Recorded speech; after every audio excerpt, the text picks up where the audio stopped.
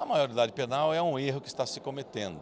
Até a Unicef está encaminhando documentos mostrando que isto não é a solução.